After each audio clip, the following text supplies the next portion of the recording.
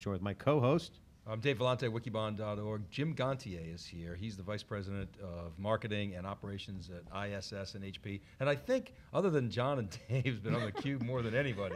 so Hey, welcome back. We love we love Yeah. talking to you folks, Uh, especially yeah, since you guys really get it. Yeah, we were counting up, you know, that t- 10 times I think you've been on the cube. We were there for the original moonshot. We were there for, for Gen 8. Uh, You've been with us for Pods in yeah, Barcelona. Pods. We were there in Barcelona. you got to be in VMworld. Dave and Bill's office when we did the yeah, original that was cool. Pod That I was was telling very Dave, we're like a tick. We're like embedded in HP. This we're not leaving, so we can't leave. But, Uh, but yeah, but you're also very objective, which is the part I like. we, we, we and we've been following you guys. So we've heard we've heard the spiel, we've heard the pitch, we've heard the analysis, we've done our we've done the tire kicking, and it's fun fun to ride such great success. And I think you know last year at Moon or 14 months ago at Moonshot, it was really an amazing thing because it was Bill and Dave's office, but it was also the beginning of wow, we want that box. And I think I was talking to the folks and you, said, hey, can we get one? um, Well, now you can because they're shipping today. now we can because a lot of people want to build up some, uh, stand up some infrastructure, and they don't want to rush to the cloud too fast, and they want to test this out. So one, let's break down quickly so we can get to the, the facts. I know you're super busy. Okay. Um, what's going on with Moonshot here in terms of what you've learned? We've, we've, we've dissected the announcement. What's happening today that's surprising you? Quick highlights of the, of the notable announcement points. Uh, so let me just give you the high notable announcement points. I mean, when you think about HP and our decades of innovation, we see four massive new trends. It's around mobile, social, cloud, and big data.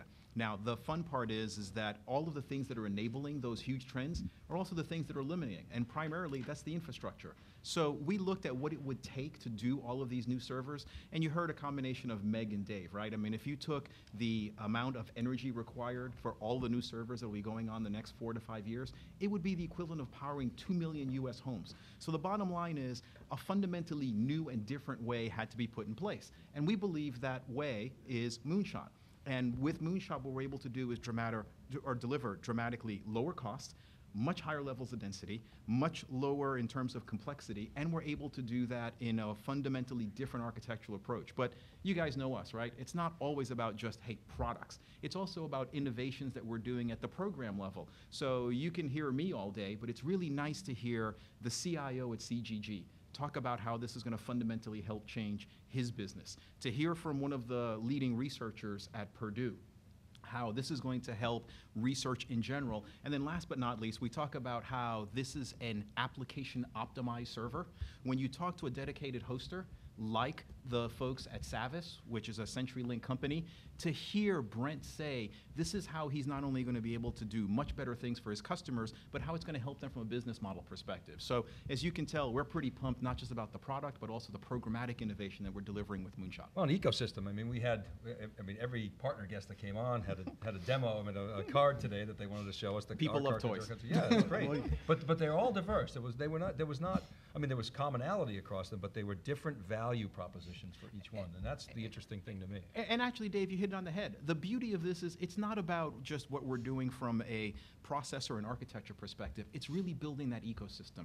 In order to go transform an industry, which you've heard us say it multiple times, that's the mission that the enterprise group is on. You've got to create this coalition of uh, like-minded folks who also have that same passion to transform the industry. So whether it's AMD or ARM or uh, TI or Intel or Calxeda or the various other ones that you heard from today, the beauty is it, we're not just going to be limited to the traditional components that you can use. We're going to be able to look at things like dig- digital signal processors. Maybe there's an audio, video, virtual, or video analysis play. We're going to be able to look at things for financial services, genomics, big data.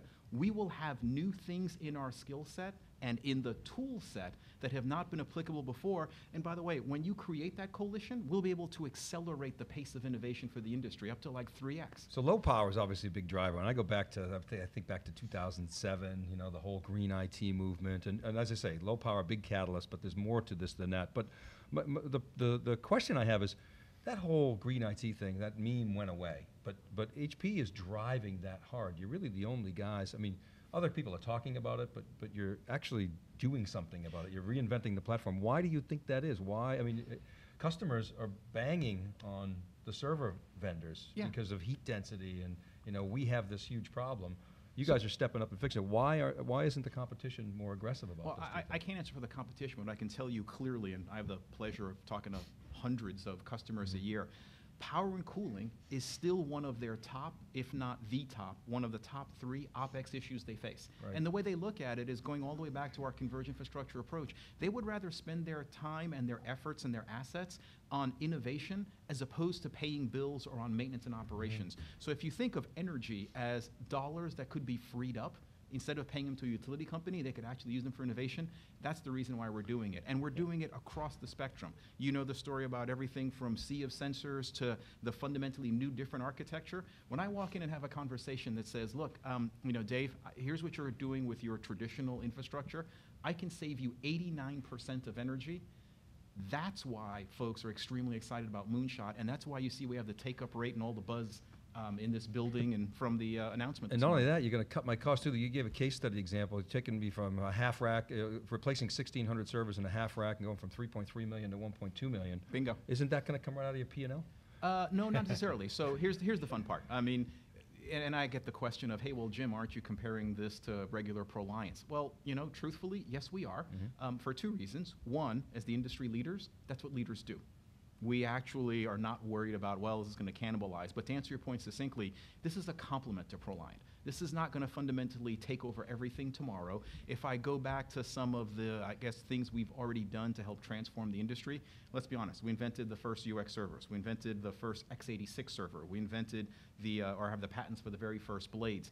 They didn't just change overnight. It's going to take years, but as you can tell, we're onto something with Moonshot, and we can't wait to start unleashing that. By the way, it's not you know our stuff that people should be worried about. Our competitors should Yeah, be worried about. We talked Moonshot about this. We, we- we talked about this with, with Dave Donatelli, and uh, uh, uh, sort of tongue in cheek. But this market is elastic, right? If you Yes. cut the price of compute and storage, people buy more. That's just We, we like to joke that Sort of uh, the yeah. amount the amount of software, the amount of requirements will scale to match the amount of processing and cost that's readily available. Jim, you know we love uh, we love to push the edge with our coverage. Silicon Yep. Angle, keep on around. You know, we were the first ones to actually be covering cloud, mobile, and social back in 2009, and so obviously we love the position in cloud, mobile, and social, and add big data, which we do all the big data shows Yep. with the Cube, so you know that. Um, but I want you to explain to the folks out there the real significance of the, how seminal this is in terms of the tech business because there is a modern era. You know, we, we always talk about sports, modern baseball, modern era. You know, so we're in a modern era of tech, the computer business. Correct. Okay, and a modern computer uh, enterprise. Right. People are got to power the cloud and the Internet of Things. So give us your your, your take on that, and because you're out talking to the customers, Moonshot is a, a a point in time where we're going to say, hey, this is a shift. Correct. To this new way, lower power, obviously buy more, Uh, open up new markets. New applications can be built on it. So Bingo. share with us your, your view on that. Uh, yeah, sure. I mean, if you look at where we are today, and basically where we, along with several analysts, are saying that we're going to probably need something on the order of between 8 to 10 million new servers. Let me put that in perspective.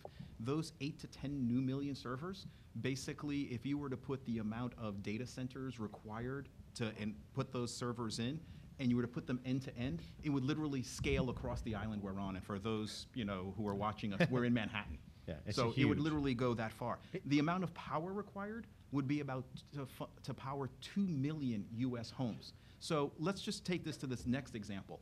If I were to have the industry move to 10% of, uh, let's say, a moonshot like architecture, by the way, they're all patent protected, but if the industry were to move to 10% of uh, a moonshot like architecture, that'd be the equivalent of taking three quarters of a million cars off the road, 9 billion uh, barrels of oil, and about almost half a million gallons of gas. The gas. numbers are, st- are so, ridiculous. so you said Of eight to course, 10 they're million staggering. servers. You said Yeah. eight to 10 over, over what period of time? Is that uh, between now and roughly 2016, 2017. Yeah, I mean, so I mean, that's near- the near level. midterm. Yeah, that's the level of, and that's why you also hear the sense of urgency in our voice. Present course and speed on the space, the power, the density, the admin time, and everything else. It is not sustainable. This, but Jim, I got to push back on this because Sure. you know the, y- HP is not. This is not the first time HP has done something really revolutionary. You got to be. You got to execute. Correct. Right? And that requires execution. Now, your competition is not going to let you get away with it. Amazon's going to fight for the cloud. IBM's got servers. You got competition.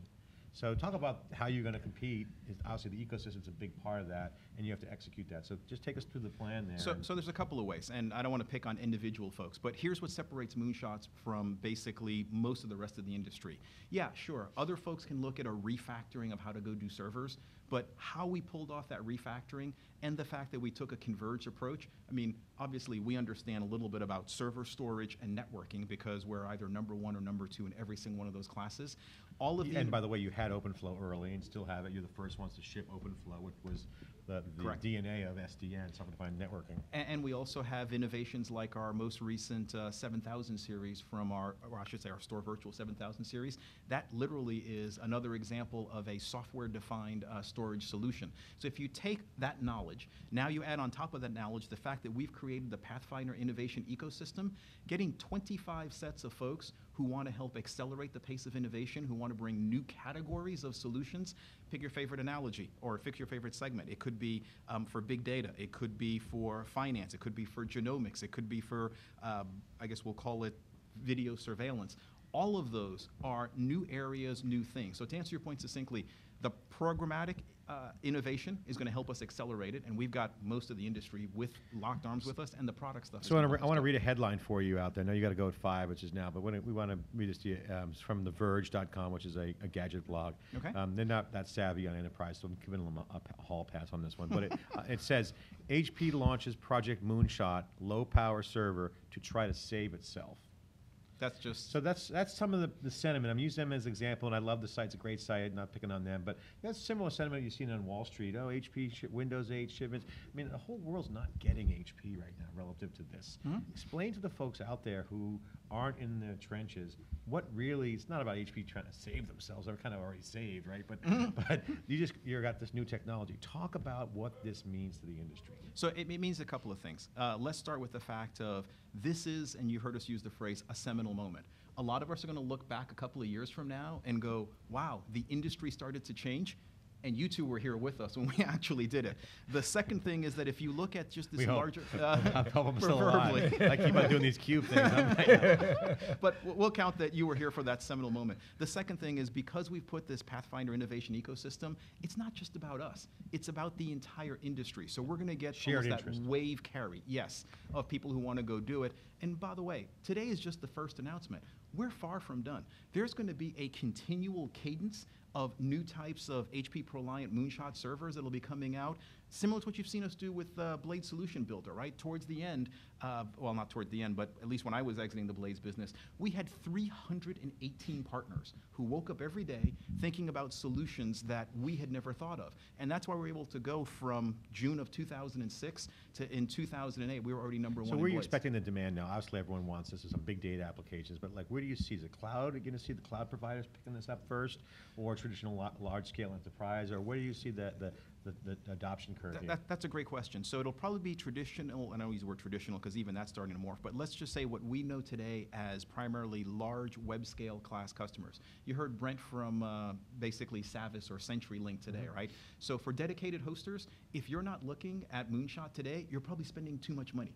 Uh, when we look at front end type things. That's things, low-hanging fruit, is the- Uh, is the cloud guys. for today. You're absolutely correct. So when we look at web front end, whether it's static or dynamic pages, that's another great place where we can do that. Now, the fun part is, as we start to look at things like digital signal processors, we start to look at uh, FPGAs and others, we're going to come up with a whole bunch of great new uh, HP ProLiant Moonshot servers that are going to deliver the same kind of quants, density, space, and various others for industries and verticals that traditionally would not be applicable or could not So it's like, it's like having the best of purpose-built solution hardware for so- for the software guys. You're giving them industry-standard purpose-built enablement. We're giving them the best possible outcome for that workload because we have tuned, tweaked, and benchmarked that system. When I say we, the collective ecosystem, to ensure that they get the best possible uh, output out of that product. And that output can be pick your favorite cost, density, space, energy, admin effective re- uh, usage ratios. And we're talking about explosion of new apps, but also there's no reason that you couldn't slot in you know, i7s and i5s in, in here. Is that, is that You're right?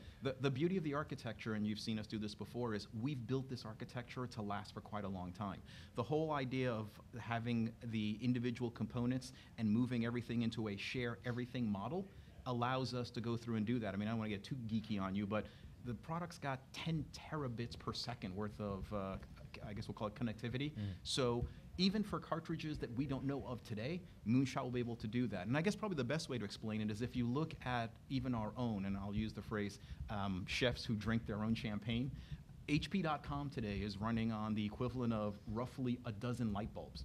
That shows you how much we're going to go fundamentally change the industry. And think of this as the birth of a new class of server today. Yeah, I mean, Moonshot originally, when you announced it in November of 2011, was kind of concept, very narrow, and you didn't, you didn't, you didn't, you know, show too much leg there. But today, you've just exploded it, and if and if you continue that innovation, uh, We I will expect, conti- we I will expect continue that things, innovation. Jim. So okay, So great. when's Well, the next uh, heard it here. uh, Cube gig? We're going to be staying with uh, the coverage. Uh, when's our next? Is it Barcelona? Is it going to be Europe? Uh, What are so, you thinking? so we haven't picked a location yet, but I'm sure we'll tell you as soon as it is. Wait a minute. But, but kidding aside, towards the end of the year, we're going to have another large announcement where we talk about the next class of all of the Moonshot servers that we're putting in place and some of the partners who we talked about five today that you haven't heard from and what they're going to be doing with us, along with a whole new suite of customers. I got to ask you a personal question uh, to you about this because obviously you're intimate in, in the launch and the Mm-hmm. whole product, and it's very passionate, obviously. But what's the biggest surprise you've had here today that you've uh, throughout the process and now getting to the end of the day of your announcement? You're gonna do some schmoozing tonight at the rece- reception. What's the biggest surprise that happened that you didn't figure would happen? Uh, the number of people who attended the the actual web event was, and I won't give you the number, but it was extremely large. So it was higher than what we thought. And then, uh, frankly, the second one is the amount of secondary requests that we're now getting. I mean, this is an event, right? And you'd expect to get a few phone calls. Uh, no, our press team is next door, Just and they're people furiously they're furiously like responding to uh, tweets and, and various other so me Yeah, things, and helping. setting up and setting up additional. We're doing our share of pumping it out there. It's a great message. Awesome. thank so, you. So the response, you're overwhelmed by the response. Uh, not overwhelmed. We're extremely pleased, but it's a lot higher than what we thought it'll be. When I say Surprised by the by the by the amount of, of interest. yeah, I mean today. we knew this was going to be big, but we didn't realize it was going to be this big, and so now we're making sure that we're going to answer all of those questions. And more importantly, it's not you know press and analysts and others; it's customers that are now starting to come to us and trying to get uh, time at the Discover Lab, which we're going to make sure happens. Well, well, I want a quick follow-up, final, final question. I always get that final, final question is, talk about the, uh, Meg Whitman. She happy with, with this? Obviously, she looks ecstatic on the webcast, and Donatelli is beaming. Um, how are those guys feeling? Uh, well, I, I haven't had a chance to talk to Meg, but let me put it to you this way. Um, what's a nice way to say this? In some of the early communications before the launch, she sees this, and she's been very public about it, as this is yet another example of HP innovation. This is yet another example of how we're going to transform the company over that five year plan.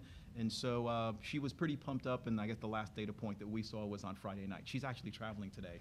And Dave, I mean, I don't know if you saw him on CNBC, he rocked it. He rocked it on the cube. He was really awesome. So, uh, He's a- congratulations, and uh, hey, we love it. Got to execute now. The ecosystem is a great strategy, and we'll be following it. Jim Ganthier, Inside the Cube, uh, Cube alumni. Great to have you on. Always dynamic, Thank you. informative, Great great content. This is Silicon Angle. The Cube. Be right back. Dave and I will wrap up the day, and, and after the short break. All right, thanks, guys.